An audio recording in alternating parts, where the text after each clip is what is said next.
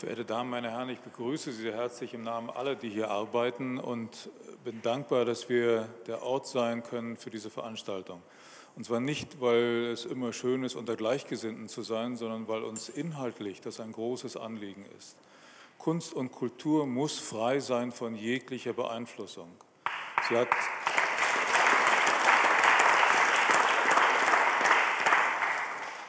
Sie hat aus ihrem Selbstverständnis eine Aufgabe, die das ausschließt. Und dafür müssen wir kämpfen und dafür werden wir, alle, die wir hier arbeiten, uns immer einsetzen. Und ich werde heute nicht derjenige sein, der heute ganz viel redet, sondern übergebe an denjenigen, der das Wichtige und Bedeutsame sagen wird. Ich wünsche uns eine schöne Veranstaltung. Vielen Dank.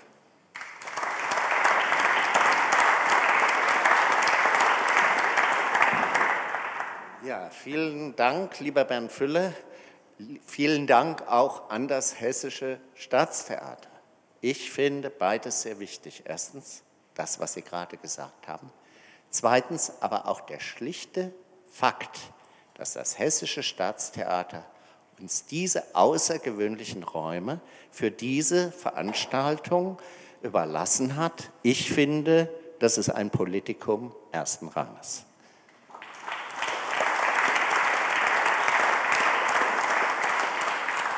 Sehr geehrte Damen und Herren, liebe Freundinnen und Freunde, mein Name ist Georg Habs.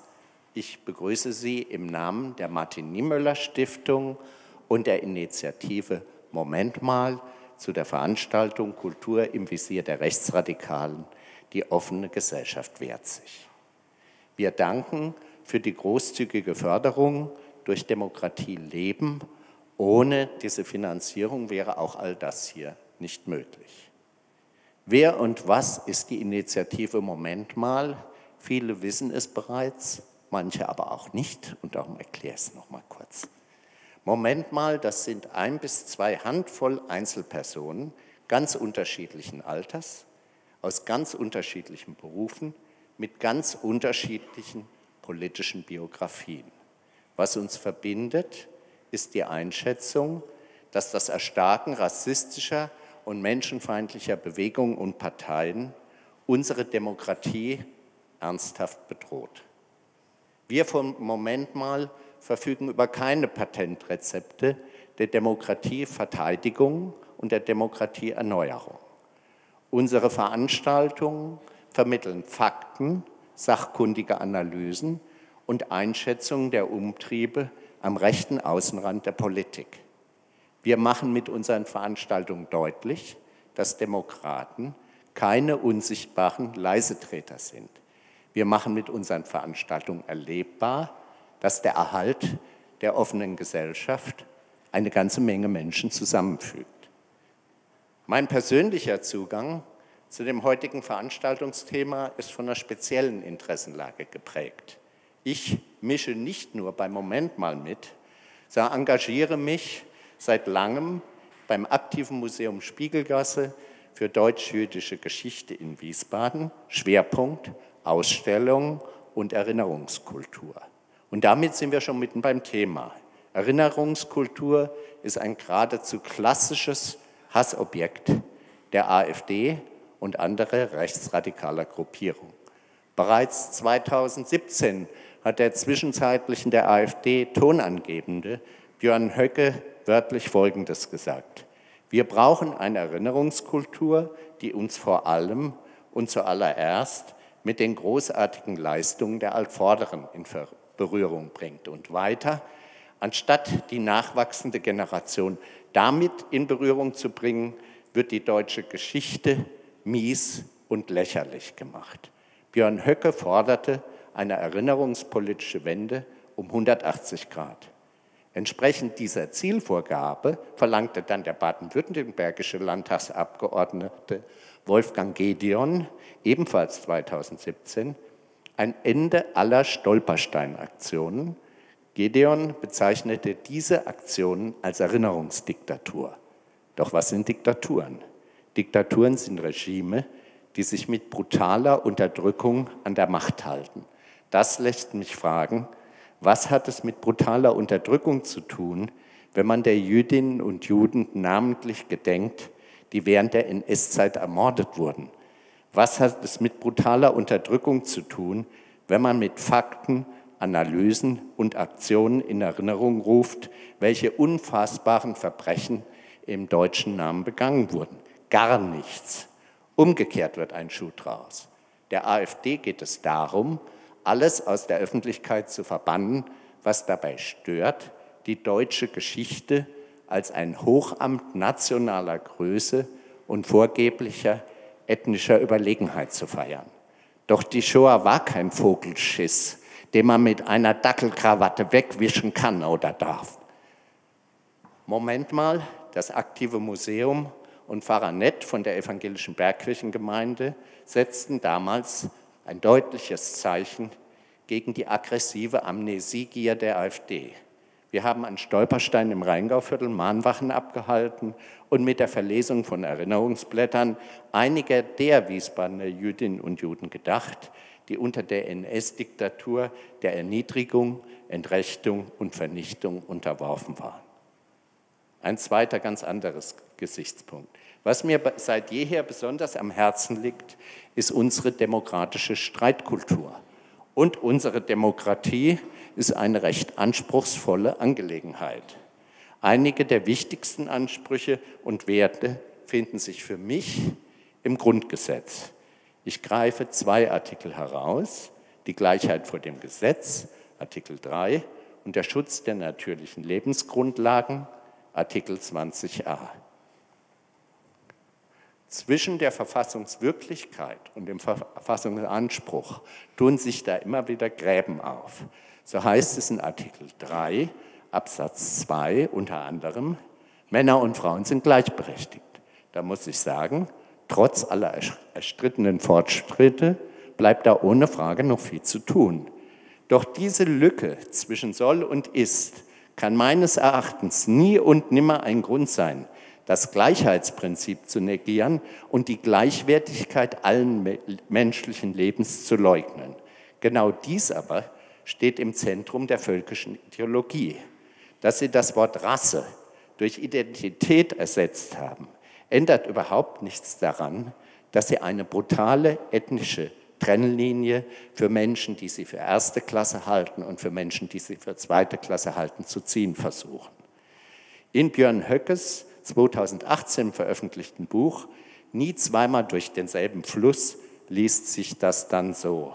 Leider werden wir ein paar Volksteile verlieren, die zu schwach oder nicht willens sind, sich der fortschreitenden Afrikanisierung, Orientalisierung und Islamisierung zu widersetzen. Nötig sei ein groß angelegtes Reemigrationsprojekt, zu gut Deutsch massenhafte Vertreibungsmaßnahmen.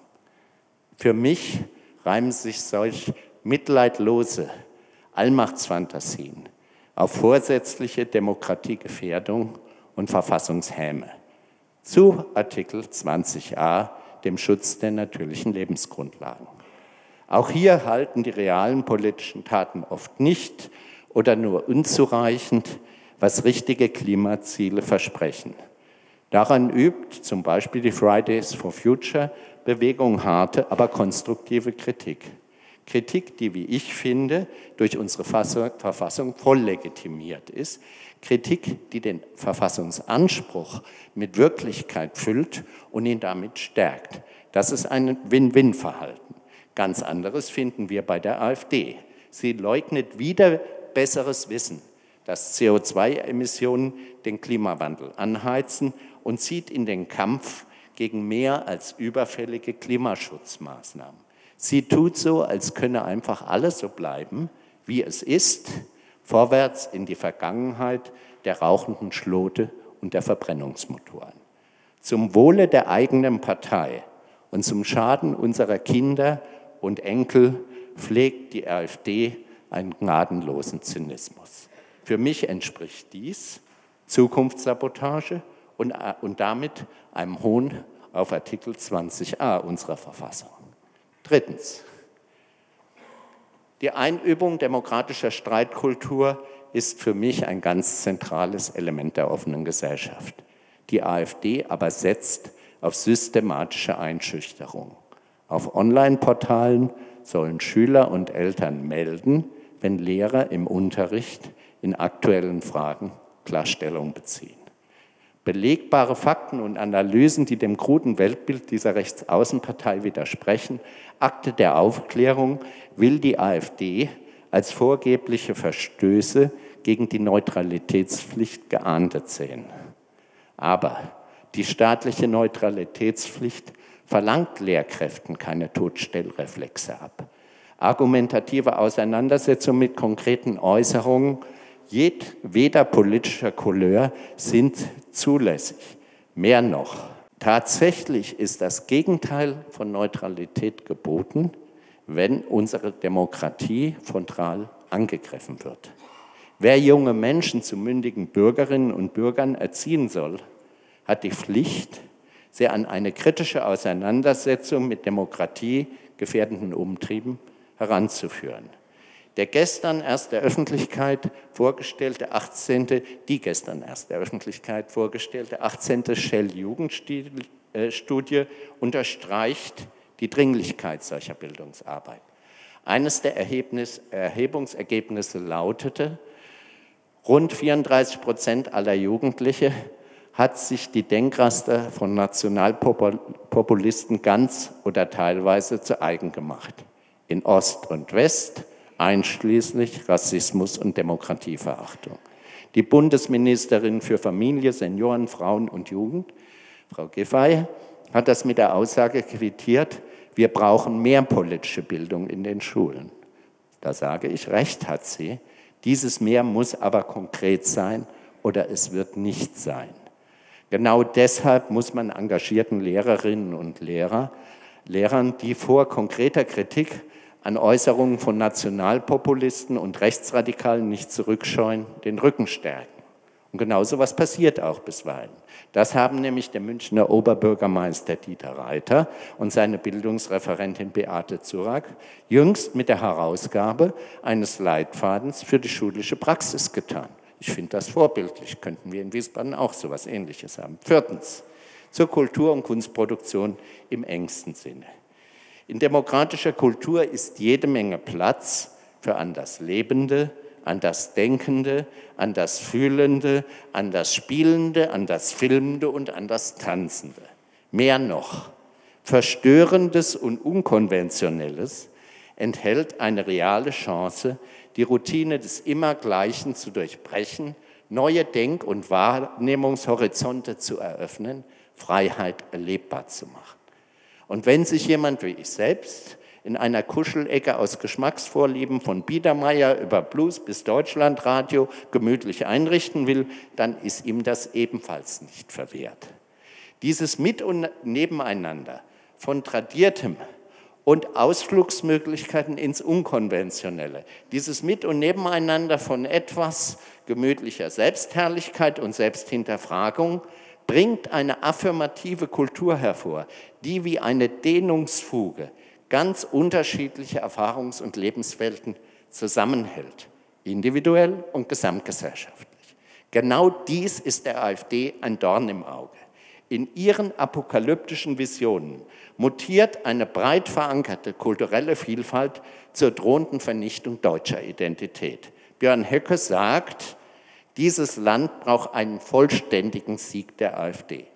Besonderen Wert bei ihrer Endsiegvorbereitung legen er und die AfD auf die Erlangung kultureller Hegemonie. Sie wissen warum. Wem es gelingt, die Deutung gesellschaftlicher Wirklichkeit zu beherrschen, der kann dann fast schalten und walten, wie er will. Bei dem gnadenlosen Kulturkampf, den die AfD Land auf Land ab gegen die Kunstfreiheit betreibt, versucht sie Verwaltung und Drittmittelgeber für ihre Strategie völkischer Gleichschaltung einzuspannen. Sie will Verwaltung und Drittmittelgebern eine Schere im Kopf aufdrängen, eine Schere, die unbotmäßigen Kultureinrichtungen und Initiativen ganz still und leise und ohne Begründungszwang den finanziellen Lebensfaden abschneidet, zum Schaden unserer offenen Gesellschaft. Ich hoffe und wünsche mir, dass uns hier und heute dargelegt wird, wie man diesem Scherenmontage Einhalt gebieten kann. Vielen Dank.